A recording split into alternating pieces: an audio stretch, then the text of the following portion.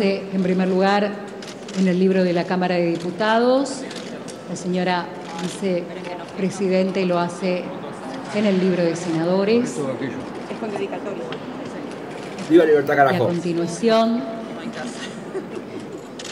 Ahora me acompañan.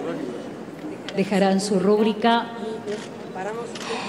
el presidente electo Javier Milei ¿No se le cae la cara de vergüenza? Y la vicepresidente se quiere matar. electa, doctora Victoria Eugenia Villarroel. Senda firmas en los libros de honor de la Honorable Cámara de Senadores y Honorable Cámara de Diputados de la Nación. No lo podemos creer, ¿no? Libertad. Basta de comunismo. Zurdos, reventados. Manga de delincuentes. Hipócritas. Escoltados por los granaderos, guardia de honor Alberto. presidencial.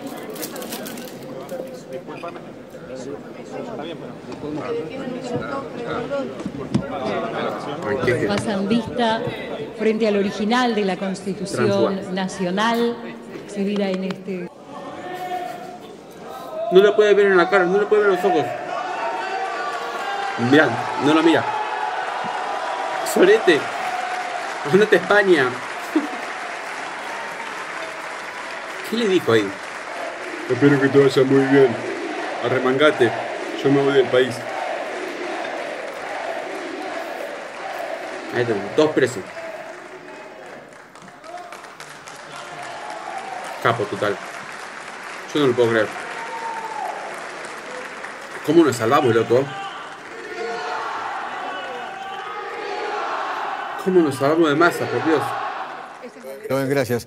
Eh, a, ver, pone el, momento del you de Cristina Kirchner. El momento, la foto, porque fue así una ráfaga, donde la señora cierra el puño y levanta el dedo.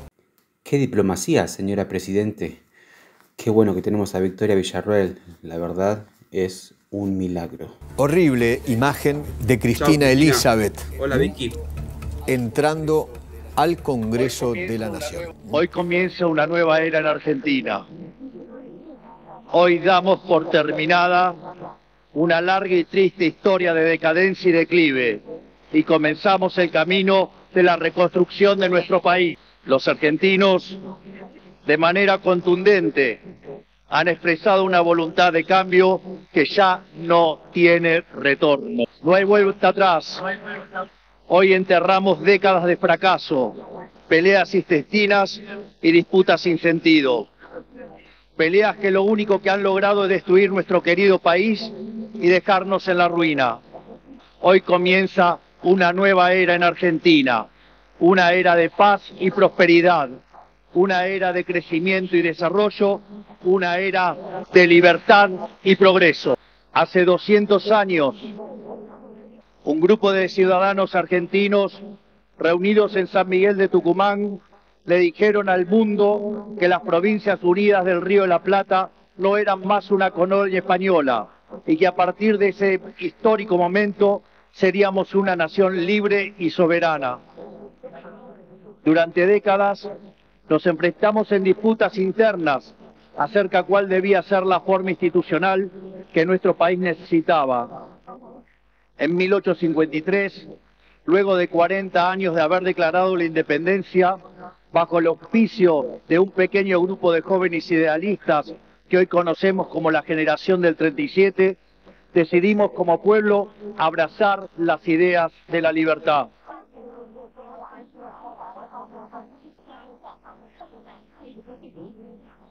Así, se sancionó una constitución liberal con el objetivo de asegurar los beneficios de la libertad para nosotros, para nuestra posteridad y para todos los hombres del mundo que quieran habitar el suelo argentino. Lo que vino después de la sanción de esa constitución de fuerte raigambre liberal fue la expansión económica más impresionante de nuestra historia. De ser un país de bárbaros enfrascados en una guerra sin cuartel, pasamos a ser la primer potencia mundial. Para principios del siglo XX éramos el faro de luz de Occidente. nuestras costas recibían con brazos abiertos a millones de inmigrantes que se escapaban de una Europa devastada en búsqueda de un horizonte de progreso. Lamentablemente, nuestra dirigencia decidió abandonar el modelo que nos había hecho rico y abrazaron las ideas empobrecedoras del colectivismo.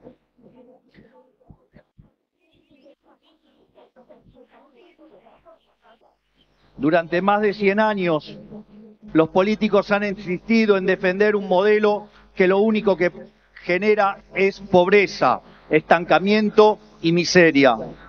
Un modelo que considera que los ciudadanos estamos para servir a la política y no que la política existe para servir a los ciudadanos.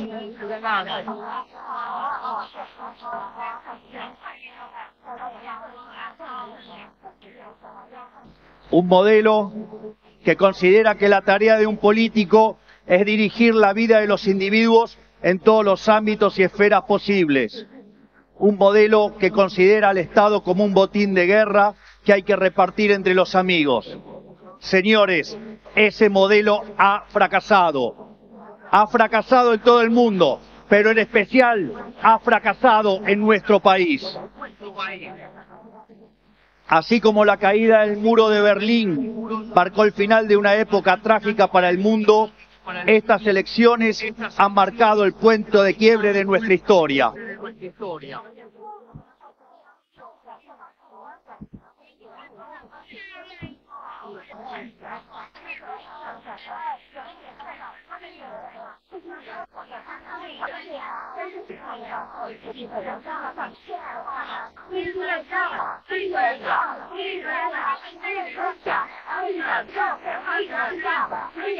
En estos días, en estos días, mucho se ha hablado de la herencia que vamos a recibir.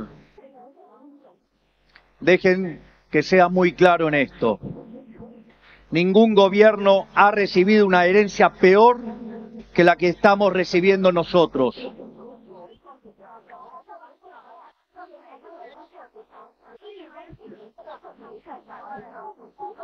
El kirchnerismo, que en sus inicios se captaba de tener superávit gemelos, esto es, superávit fiscal y externo, hoy nos deja déficit gemelos por 17% del PBI.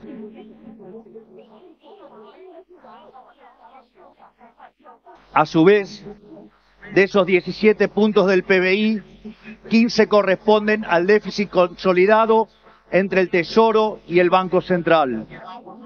Por lo tanto, no existe solución viable en la que se evite atacar al déficit fiscal. Al mismo tiempo, de esos 15 puntos de déficit fiscal, 5 corresponden al Tesoro Nacional y 10 al Banco Central, por lo que la solución implica, por un lado, un ajuste fiscal en el sector público nacional de 5 puntos del PBI, que a diferencia del pasado caerá casi totalmente sobre el Estado y no sobre el sector privado. Y no sobre el sector privado. Qué lindo tener un presidente economista y liberal. No demagogo, zurdo, comunista, chorro, delincuentes. Por lo tanto, Dios bendiga a los argentinos y que las fuerzas del cielo nos acompañen en este desafío. Muchas gracias. Será difícil, pero lo vamos a lograr. ¡Viva la libertad, carajo! ¡Viva la libertad, carajo! ¡Viva la libertad, carajo! A ponerse de pie que vamos a salir. A ponerse de pie y a remangarse. Alberto Nata España, Cristina Nata Italia, en este país no son bienvenidos. ¡Viva la libertad, carajo! Yo todavía no lo puedo creer. No puedo creer que haya ganado mi ley. ¿Cómo nos salvamos?